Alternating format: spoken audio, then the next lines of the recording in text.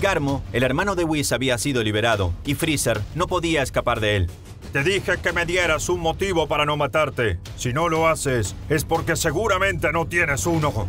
Diría Garmo. Tengo un ejército. Diría Freezer. Garmo soltaría a Freezer. Eso suena interesante. Dime más. Diría Garmo al verse interesado. Posteo un ejército con soldados que me ayudan a conquistar planetas para venderlos a buen precio. Soy de momento uno de los seres más poderosos del universo 7, a excepción de Whis, su hijo Goku, y de Bills, el dios de la destrucción, explicaría Freezer. Vaya, el cuarto ser más poderoso del universo 7. Ahora eres el quinto porque estoy yo, diría Garmo. Según un dios dragón que habló de ti, eres un poco más fuerte que Goku, diría Freezer. ¿Un poco más fuerte? Gritaría Garmo furioso. El castillo entero comenzaría a temblar. Eso lo dijo el dios dragón de la tierra. No pienses que son mis palabras. Diría Freezer aterrado. Un dios dragón. ¿Pediste un deseo? Preguntaría Garmo. No, solo espiaba a Goku. Él pidió el deseo de encontrar un rival. Y le habló de usted, que era el único con quien podría rivalizar. Diría Freezer. Entiendo. Y aún así, mi querido no sobrino no ha querido rescatarme. Diría Garmo. Dame tu ejército. Yo seré tu líder desde ahora. Ordenaría Garmo. Maldición, parece una mala idea, pero no tengo alternativa. Pensaría Freezer. Freezer llevaría a Garmo a su nave. Lo presentaría ante su nueva tripulación. Mientras tanto, Goku estaba en el planeta Tierra. Acababa de llevar a Milk. Gracias por traerme. Extrañaba mucho mi planeta. Diría Milk. No es nada. Además, tengo curiosidad de conocer la Tierra, diría Goku. Milk llevaría a Goku con los demás. Irían con el maestro Roshi y Krillin. Minutos más tarde, llegaría Yamcha con su esposa Bulma.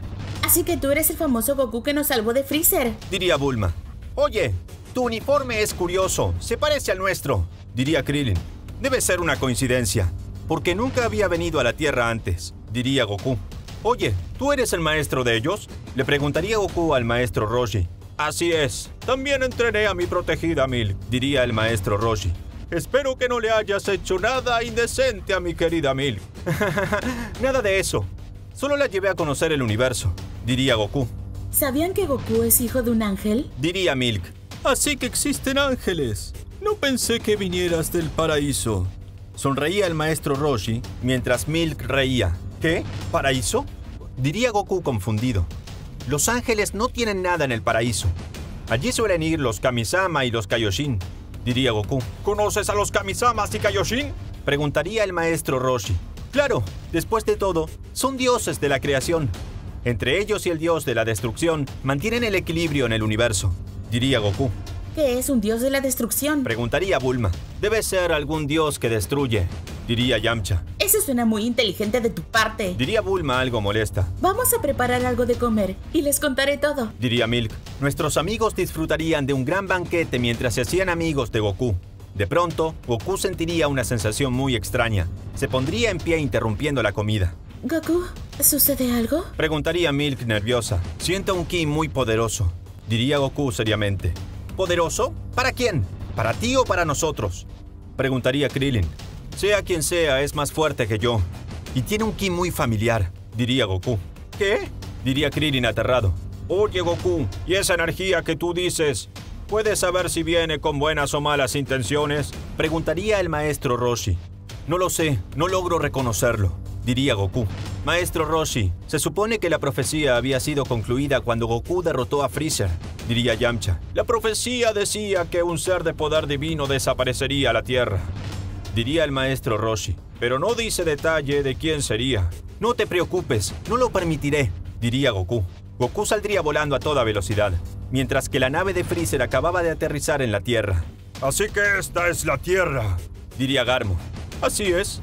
Es un planeta pequeño y no muy avanzado, pero posee buenos recursos naturales, además de las esferas del dragón, diría Freezer. Las esferas del dragón tienen que desaparecer, diría Garmo. Pero señor, ¿no desea pedirle un deseo usted mismo? Preguntaría Freezer. Garmo golpearía el hombro de Freezer con sutileza. Además del dolor, lo dejaría inmovilizado. No he pedido tu opinión. Acostúmbrate a no hablar si no te lo ordeno. Diría Garmo seriamente mientras salía de la nave. No hay duda, ese tal Goku debe estar aquí. Siento una presencia que se acerca a mi nivel. Diría Garmo. Pocos segundos después, Goku llegaría. Hola, mi nombre es Goku. Me gustaría saber quién eres. Diría Goku al presentarse. Aunque se lo veía muy serio, desconfiaba de alguien con ese poder. Goku, ya veo. Respondería Garmo. Pensé que eras un ángel puro, pero noto que tienes rasgos de Saiyajin. ¿Cómo lo sabes? Preguntaría Goku algo molesto. Cuando tienes mi edad, logras reconocer a las razas por sus detalles. Diría Garmo. Es un gusto conocerte, sobrino. Sonreía Garmo. Un momento, diría Goku sorprendido. ¿Cómo que sobrino? Pensé que sabías de mí por las esferas del dragón. Yo soy Garmo, tu tío. Diría Garmo. Imposible. Se supone que estabas aprisionado en el hielo eterno. Diría Goku. Pero fui liberado. Diría Garmo. Freezer saldría de su nave dejándose ver. ¿Con qué eras tú? Cucaracha del espacio. Diría Goku furioso al lanzar una bola de ki hacia Freezer. Garmo se pondría frente a Freezer y con un simple golpe desviaría el ataque. La bola de ki impactaría a lo lejos, desapareciendo una montaña por completo. Eres muy impulsivo. No pareces ser un ángel de verdad. Diría Garmo. ¿Qué es lo que quieres? Preguntaría Goku furioso. Solo vine a conocer a mi sobrino. Ven, dale un abrazo a tu tío. Diría Garmo al extender sus brazos. ¿De verdad? Preguntaría Goku. Claro, solo acércate. Diría Garmo. Goku se acercaría poco a poco a Garmo. Sentía gran desconfianza. Espero que no trame nada. Pensaría Goku, cuando Goku estaba a nada de llegar a Garmo, pero este le lanzaría un golpe de puño a Goku. Goku resiste el ataque en su mano justo a tiempo. ¡Lo sabía! ¡Eres un tramposo! diría Goku furioso. Garmo con su mano libre atacaría a Goku, pero este se volvería a defender, sosteniendo su ataque. Luego, ambos se sujetarían de las manos con un fuerte agarre. Elevarían su ki compitiendo porque quién era más fuerte. No lo estás haciendo mal, sonreía Garmo. Garmo explotaría su ki a un nivel que Goku no podría soportar el agarre. Sus manos vencerían mientras caía de rodillas, pero Goku se transformaría en Super Saiyajin Blue, casi igualando el ki de Garmo. No está nada mal, gritaría Garmo de la emoción. Luego, ambos se separarían y se pondrían en posición de combate. Al menos tendré el poder de pelear con alguien digno de mí, diría Goku. Eso lo veremos, diría Garmo. Garmo y Goku gritarían elevando su ki al máximo. Ambos se lanzarían uno al otro comenzando con el combate. Los golpes entre ellos retumbaban en el planeta entero. Krillin, Yamcha y Milk irían volando hasta la ubicación de Goku. Podían sentir la energía de la pelea sin ni siquiera verlos. No puede ser, son unos monstruos, diría Yamcha aterrado. Si esto sigue así, se cumplirá la profecía de Uranai Baba, diría Krillin. Nuestros amigos llegarían a la pelea. Verían a Goku y Garmo luchar mano a mano, aunque Garmo parecía tener cierta ventaja. Según Shenlong, Garmo era un poco más fuerte que Goku y era el único ser que podría rivalizar contra él. Diría Milk. Si eso es cierto, no podemos depender del poder de Goku. Tenemos que hacer algo, diría Krillin. Ya lo sé. Haremos la Genkidama, diría Yamcha. Sí, es una buena idea, diría Krillin. ¿Genkidama? Preguntaría Milk. Sí, es una técnica donde reunimos la energía de todo el planeta para concentrarla en un solo ataque, diría Krillin. Además, puedo conectarla con mi Sodican para que no la esquive, diría Yamcha. Krillin y Yamcha levantarían sus manos a lo alto del cielo. Por, favor, habitantes, de, la, tierra, denos de su energía, dirían Krillin y Yamcha al mismo tiempo.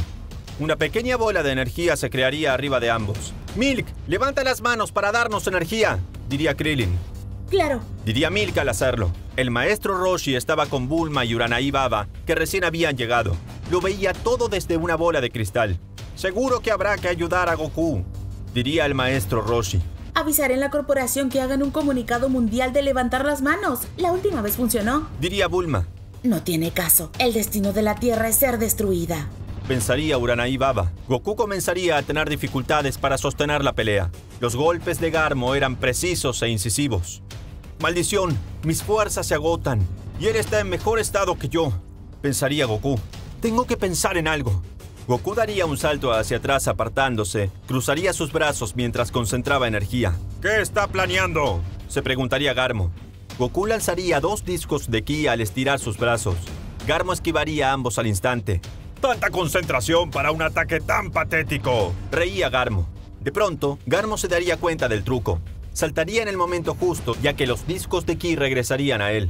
¿Con qué eres astuto? diría Garmo. Garmo lanzaría dos bolas de ki a los discos para destruirlos, pero en lugar de ello, las bolas serían rebanadas, explotando sin detener los discos de ki. ¡No puede ser! diría Garmo aterrado. Garmo comenzaría a desplazarse de lado a lado, pero en distancias cortas. Buscaba posicionar los discos de ki de una manera especial. Luego de algunos segundos, conseguiría que los discos de ki viajen hacia ellos mismos, y al esquivarlos, chocarían entre ellos. Los discos de ki se rebanarían entre ellos y se desintegrarían al instante. Eso fue complicado, diría Garmo. Garmo se giraría alerta, sentía el ki de Goku trabajar, ya que éste estaba preparando un Kamehameha. ¡Ja! Gritaría Goku lanzando su ataque. ¿Viste eso? Preguntaría Yamcha asombrado. ¡Lo va a matar! diría Krillin. Garmo se cruzaría de brazos en el último momento, recibiendo el ataque por completo. Al finalizar, Goku caería de rodillas por la gran cantidad de energía que había gastado. Vaya, eso sí que fue difícil. Sonreía Goku. ¿Goku ganó? Diría Milk feliz. No, aún no.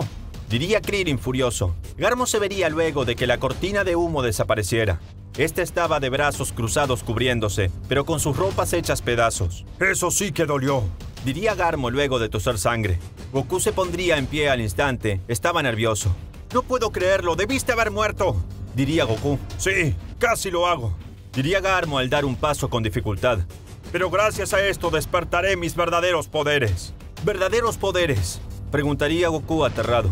Claro, después de estar dormido por tantos milenios, mis músculos se atrofiaron, diría Garmo. Garmo apretaría sus puños. De un momento a otro, sus músculos crecerían. Ahora sí, me siento mejor dentro de todo, diría Garmo. No puede ser. A pesar de sus heridas, ahora posee un ki que triplica el mío. Pensaría Goku. Krillin y Yamcha habían terminado de reunir energía para la Genki Dama. Ya está lista, diría Krillin. Lancémosla ahora, diría Yamcha. Yamcha y Krillin lanzaría la Genki Dama directo a Garmo. ¿Qué es eso? Preguntaría Garmo al ver una gigantesca bola de energía en el cielo. Estaba preocupado porque sentía en ella un gran poder. No estaba seguro si iba a sobrevivir a ese ataque de los habitantes de la Tierra. ¿Qué es lo que pasará ahora que Goku está casi sin energías y Garmo se hizo más fuerte? ¿La Genki Dama podrá derrotar a Garmo? Y aún más importante, ¿podrá Goku obtener la victoria? ¿O Garmo acabará con Goku y con el planeta Tierra? Todo ello lo veremos en la siguiente parte de esta increíble teoría. Y bueno amigos, espero que les haya encantado la tercera parte de esta teoría de Goku, el hijo de Whis.